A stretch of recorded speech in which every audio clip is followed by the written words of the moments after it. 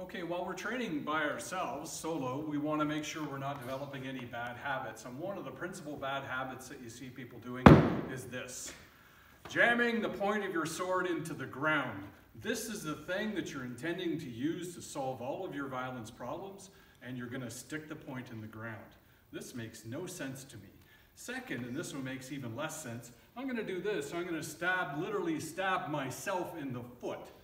Um, this fundamentally, in my opinion, uh, de is derived from a, from a basic um, fallacy that this tool is not replicating a weapon, that it is in fact just a training tool and safe.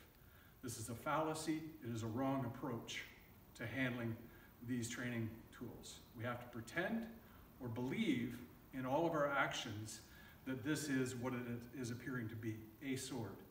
And if you had a sword and your plan was to use this thing to protect yourself and your family, you probably wouldn't stick the point in the ground. So this is not an appropriate way to handle or, or stand with a sword.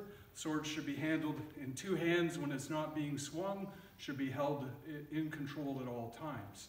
Two hands, two points of contact, so you always know where the sword is. If you're gonna have it in repose, relaxing, then the best way to do it is put it in the left hand and hold it at your left side as you would normally um, if this was a circumstance in which you would needed a, needed a sword. Because here it's ready and I can come immediately to a guard and an action.